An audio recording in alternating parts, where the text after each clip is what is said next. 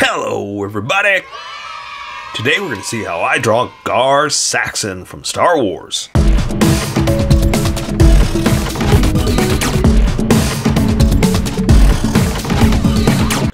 Just so you know, there's a coloring book that you can get through Amazon. Just follow the link in my description and you can get a coloring book to show me how you color to how I draw. Okay, pencils first and then Sharpies. So if you don't want to watch the pencil portion of the video where I sketch the entire thing out, look in the description and you'll find a link that you can click on that will take you to the Sharpie portion of the video. I'll even include one for color. But for those of you that are going to stick around, I'm going to start off with a quick sketch for myself and get us going. Alright, uh, I don't know anything about this guy. Uh, I don't know what he was in. I know he was in Star Wars. I'm just saying, uh, Clone Wars? Rebels? I don't know. Uh, it's a request. Basically, that's what it is. It was a request. And so, unfortunately, that also means I don't have a lot on this guy. There's not a lot of detail that I can find photo reference wise to get the pictures right, to get the detail. So, eh, bear with me. So sorry if it doesn't come out right, but again, that's we, we get what we get. That's, that's about all I can say. Uh, you know, I, I get the idea, but sometimes, yeah, when people want certain things, if it's not available, I, there's not much I can really do. So I'm just still gonna, you know, play around with it, see what I can do. But, uh, but yeah, for the most part, that's all I got. So hopefully we'll get it right. And you know, I'm all I really have to do is draw a Mandalorian, and it's going to be about the coloring. That's that's when it's going to get uh, uh, iffy. That's the word I'm looking for. Does he have? Yeah, he's got big shoulder pieces. We'll do like that. Um, does he have a backpack? I can't tell. Uh, again, there's not a lot of good pictures that I can tell if there's good backpack pictures. So you get what you get, kids. Just gonna leave it at that.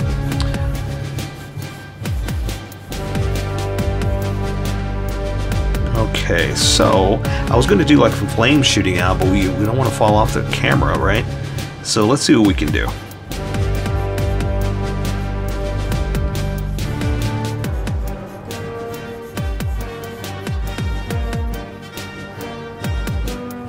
and um, I, I, don't know. I just feel like I need to keep uh, explaining. I don't know why. No, I do know why. Because I'm not confident with the place this is coming from. I'm confident with my sketch. Sure, why not?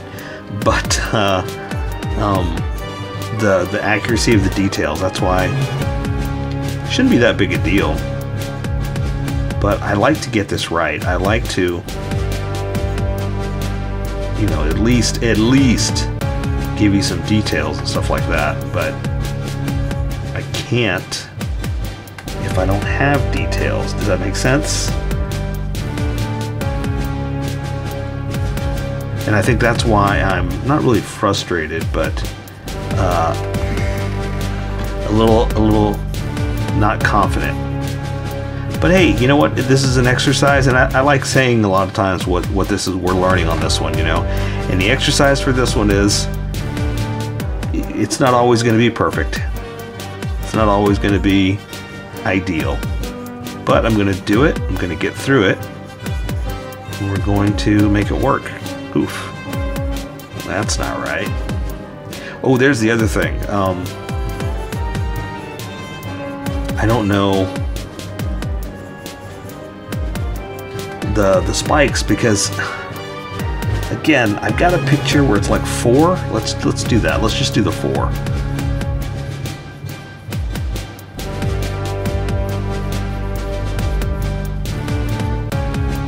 and then uh, I've got pictures I guess no you know what it, it's when I researched this guy because there's a Black Series figure that is a what is it called like the Mandalorian Sith Army or whatever it keeps giving me that because there's a lot of people guessing that that's who that character is in these Star Wars Black series, right? So that's the problem. That's a problem I have is that when I research, I'm getting this that guy, that Mandalorian Sith uh, armor stuff, and it that may not be him. You know what I mean? But because people are people are speculating and everybody's got to figure it out, you know, uh, that's what I'm getting when I research. And so, unfortunately, that's what you're getting to. So, you know, I'm just gonna do what I can, make it work, and then we will, uh, we will, you know, again, make it work on our own.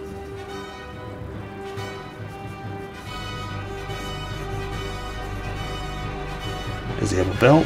I can't tell. Sorry if I sound frustrated with this. Like I said, I'm just frustrated that I can't that I'm not confident with it. That's that's what it comes down to. I wish I was more confident with the drawing.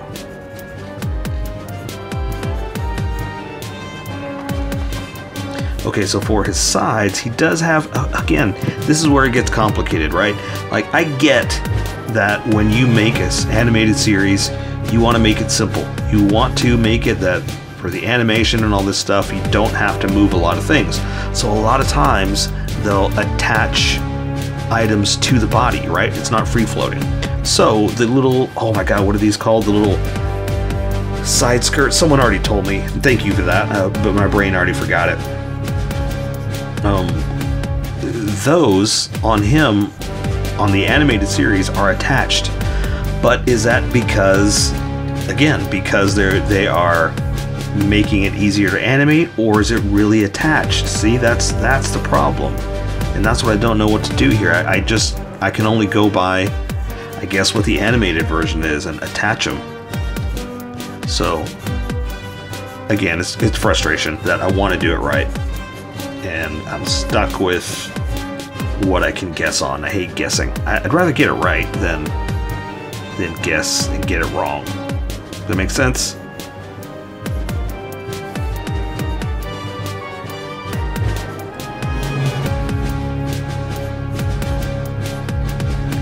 Okay, so I think we're good with the sketch.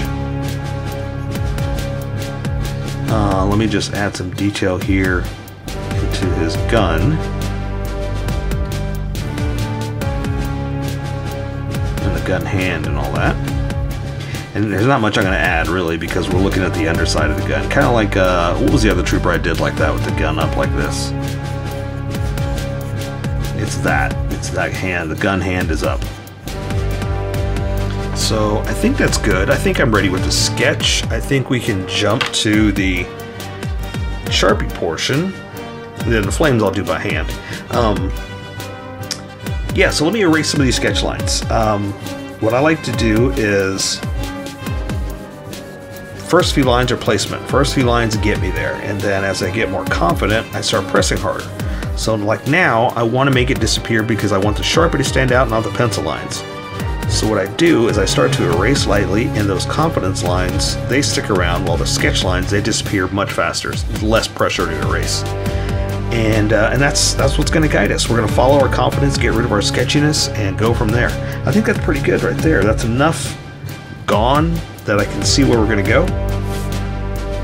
Or it's not going to stand out for the Sharpie, but enough still there that I can see where we're going to go. So let's go and do it. Let's jump to the Sharpie portion and get going. And welcome all the skippers. Welcome skippers, welcome to the Sharpie portion of the video. Don't forget to like and subscribe because I do a different drawing every day. You can join along and have some fun. I'm going to be using a Sharpie fine point and a Sharpie pen. Mostly the fine point, but a pen's a little finer than a fine point. You can find things that a fine point can't quite find. I've sketched the entire thing out. I've erased the majority of the sketch lines, but left myself enough to see where we're going to go. So I'm going to go ahead and just dive right in. You, you see what we're doing, you see where we're going. So let's just jump right in with the helmet. I'm just going to draw the front of the mask, the face details, so to speak. And oh, this is not the the sharp the the fine point. There's two sharpies I've got here, and I always complained to, to the Sharpie company through my video that these are exactly the same. These are exactly the same. They both say medium, or no, they both. Oh, does that one say medium? That does say medium, but look, it says medium is black on black. This one says fine, black on black.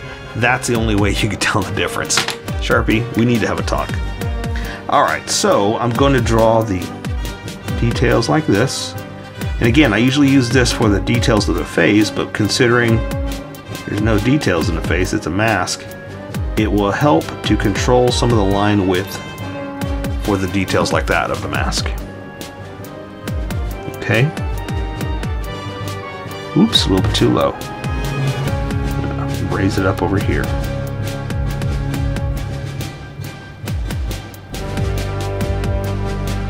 That's okay. See, not a straight line, but I'm okay with that anyway. Um, now again, I talked about this in the sketch. Hopefully I got this right. um, let's draw the side over here so I see where we are. And then I can start to draw some of those face lines. Oh, I guess I should go ahead and close it off, huh? Let's go ahead and start start uh, defining a few points.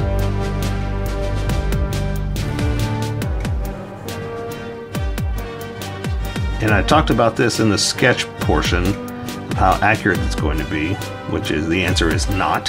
So go there if you have any complaints, any uh, any arguments about why I'm drawing the way I'm drawing. Please see the complaint department in sketch portion. All right, um, let's see. You get what you get. I'm just gonna, I'm just gonna leave it at that. You get what you get right now. Be lucky you got this. Uh, okay.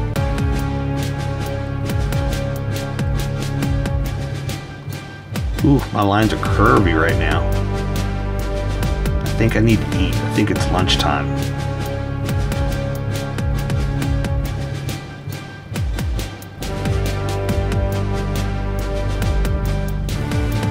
Um, let's see. I'm gonna do a curve around the head like that.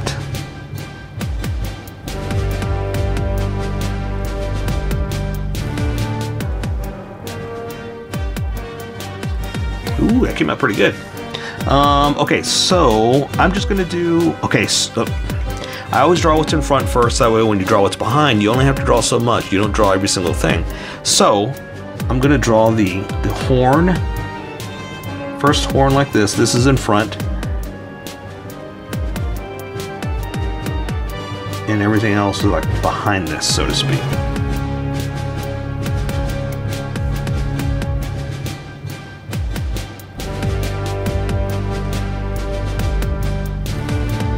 Oh, and also if you see me thickening up my lines like this, it's because I like to draw what's in front. I'm sorry. I got all my speeches all mixed up. I'm going to be jumping to this fine point pretty soon, and it's a huge difference in line width. So I'm trying to match what this is going to do eventually. All right, so all this, the rest of the horns are behind this curve. So let me see if I can get this right.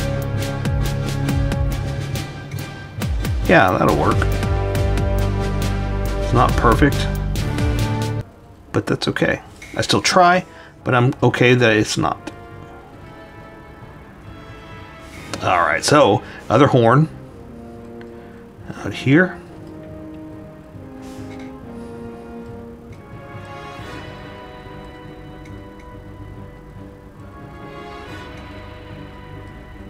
Again, I'm thickening up my lines, but remember, you don't have to. This is how I draw, and you draw how you draw. We'll meet somewhere in between. I'm just explaining to you why I draw how I draw.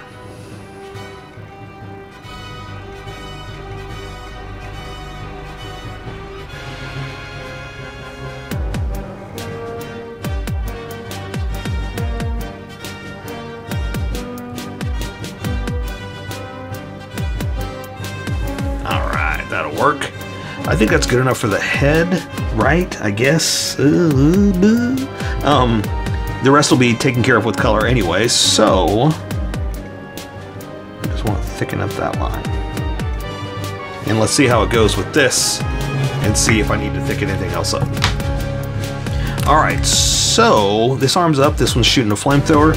Um, the shoulders are a little bit higher because of the way uh, the arms are pushing them up. I've got him hunched a little bit. So his neck is like that, right? It's, it's inside there and you can only see so much from this angle. I shouldn't even be drawing all these tiny little details on the neck because again, you can only see so much, but I like it better than just a negative space. Alright, so his armor is to be like this.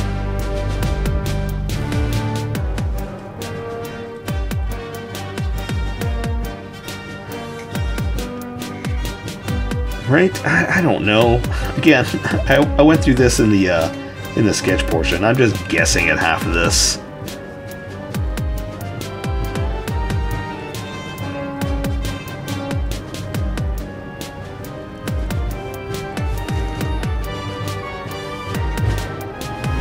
Alright, and let's see. Okay, so yeah, the shoulder is to be up a little bit like this. Go ahead and draw this arm so you see where we are. Um, let's see, I'm going to put the elbow right about there.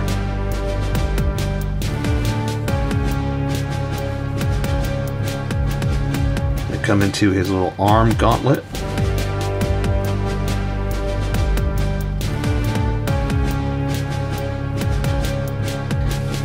Alright, and that's going to give him some creases and folds right there. Draw some you know what? And I don't know if he's got the old tubes on the arm like Boba Fett. Again, I did my research. Well, I talked about this in the sketch portion, so I'm not going to bore you. I'm just going to add some kind of mechanical work there.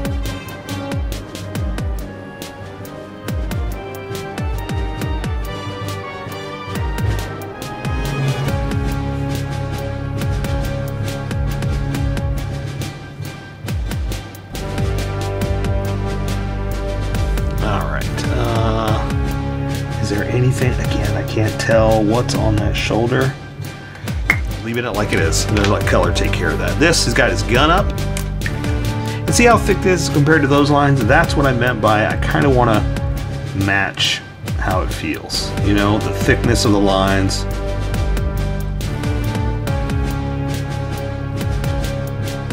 Just to match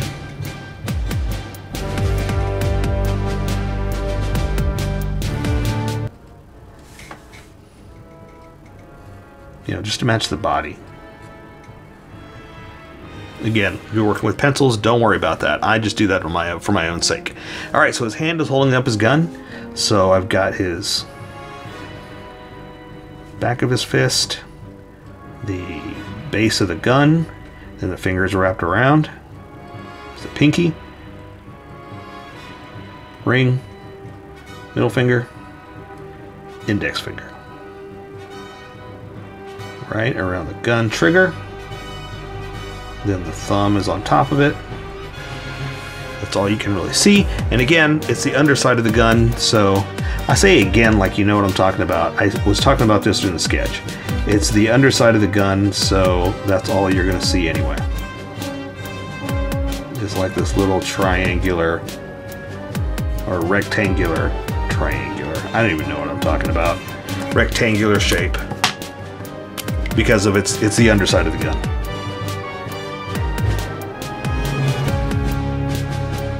Right at the bottom. The, the least interesting part of the gun. Alright. I like it going back here a little bit more, so I'm going to separate that. But again, because it's the underside of the gun, that's all we're seeing anyway, so I'm good with that. Okay, so this arm is out. Let me draw some armor here so I could show you what's going on. Um, let's see. Again, not, not very good pictures I can go by. Just guessing. So, bear with me.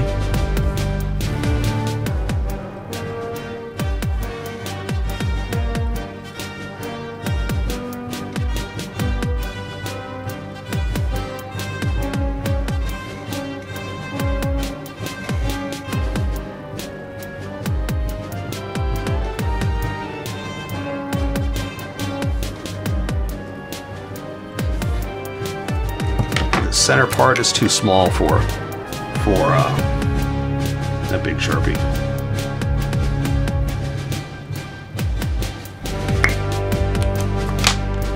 And this I'm going to make into one piece, go around like that.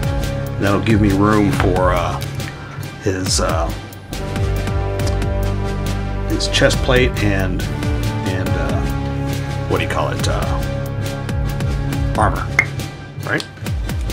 Okay, so I still want to draw more. I still want to draw more to show you where we are. Hang on.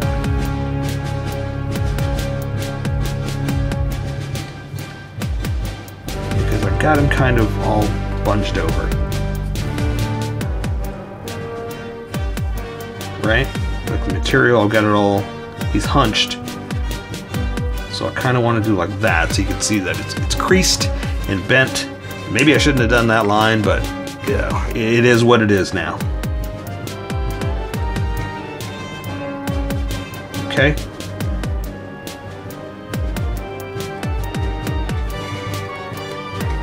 And that's to go to his, his belt, and that's good for that. Okay, so let's do this. And that's to go into his belt so you can see him all hunched over. That's kind of the look I was going for. So let's do this shoulder pad over here. Again, raised up a little bit because of the way his arm is. Kind of almost going into his neck, you know? Um, and then his, his uh, uh, bicep into his sleeve, into the gauntlet there. So let's work our way back.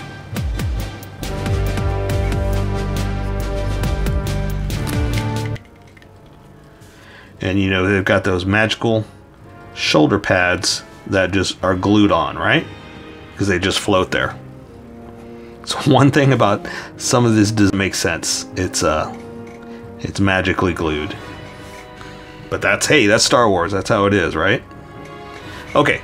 So, we're gonna do the uh, wrist gauntlet. So he's pretty much doing this. You know, he's got his his uh, wrist down.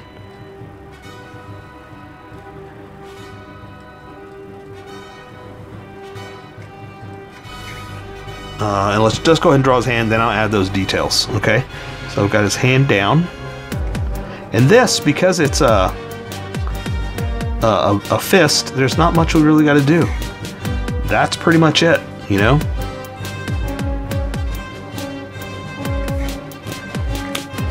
Okay, add some details here. Now, I, I don't know what this is. I can't see it. So I'm just going to kind of do like this. I wish I had made that straighter, but it is what it is.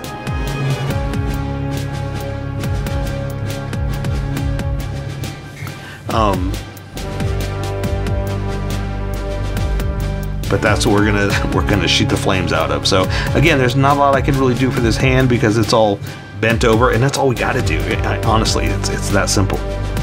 My hand's really shaky for some reason. Every single line is all super super blotchy. I don't know what's going on. Maybe it's a paper. Uh, okay, for the flames, I just kind of want to do like a quick, like, right?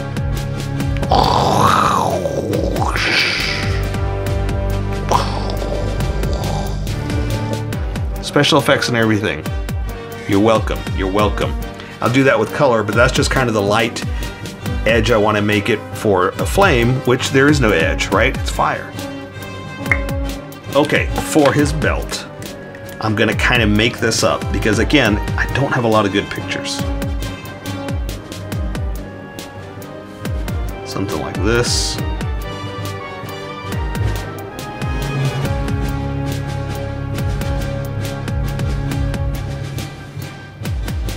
Again, I've got him kind of leaned into his, his chest right there, leaned into his belt. And now that that's there, I can kind of show that this armor is pushed into his belt a little bit because of the way he's hunched over. And that's what happens with, with uh, uh, solid objects. They won't hit each other. They have to either go, I'm doing it off screen. They want they, they can't hit each other. They either have to go under or over, you know?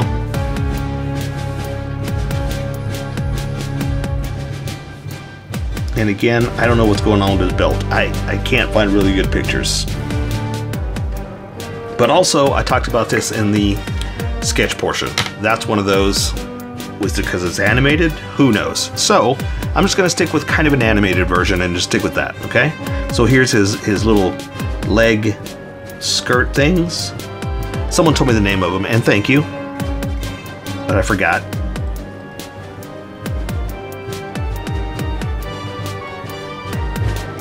There's his gun. But again, because it's the top view and because it's holstered, that's all we can see. So I'm not worried about any more details on that. As I draw more details. what I meant was that's all we have to do. Okay, so I'm going to do the same thing over here. Draw his little leg uh, thing down, but with an empty holster.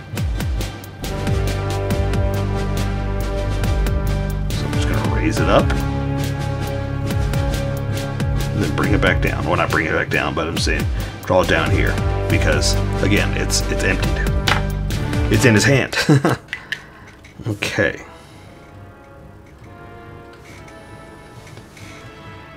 Go ahead and give it an edge like we did over there. Okay, so now, um, oh, and and I guess I guess they're they're held onto his leg, right? These little um, strappy things, these little skirt things. But are they a skirt anymore? Because again, it's now attached to his leg. I don't know. Okay, so I'm gonna draw his crotch like this. tuck it in for the, uh, the, the, tension on the uh, leg. There's the belt. Give him uh, some kind of knee pad. There's the edge of the leg coming in. Let me add some detail here so it's not just a weird bulky thing. I probably did that knee pad a little bit too big, but that's okay.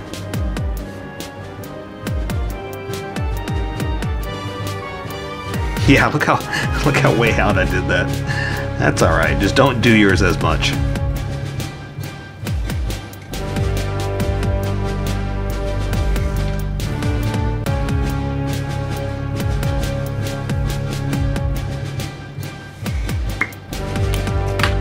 Again, draw some more pant leg.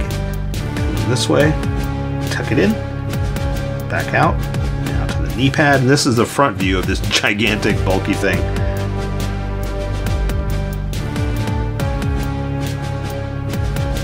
again. Uh, uh, I was to say tuck in the leg, but tuck in the pants.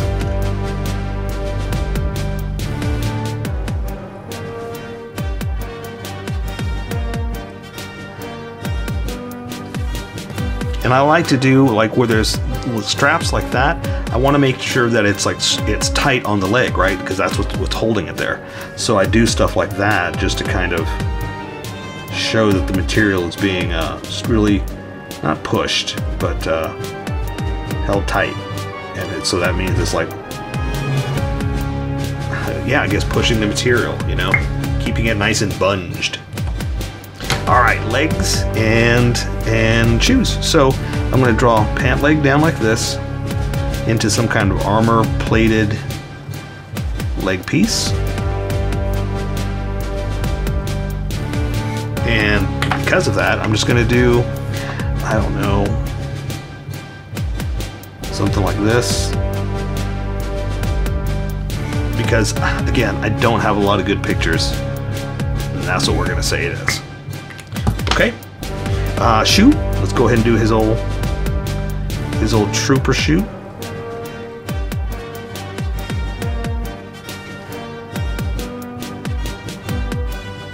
Something like that.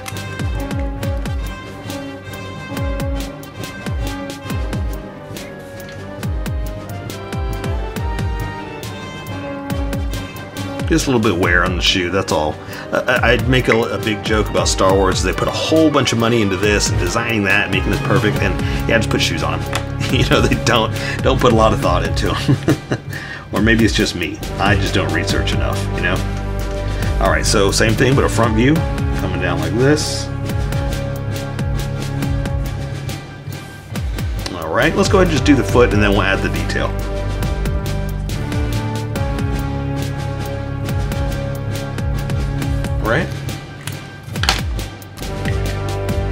Okay, so a little bit of design work here, something like this. Again, I don't know, we're just gonna say it's the front view of that. And then his shoe. What do we say we did a crease? Or not crease, we did a, a, uh, a sole is what we did. So there you go. I say we take care of the rest with color. So that is Gar Saxon, Star Wars. So here's how I colored it. Tell me what you think in the comments below, or show me what you did in our Discord group. Just have fun and make it your own, because remember, this is how I draw. You draw how you draw, and we'll meet somewhere in between.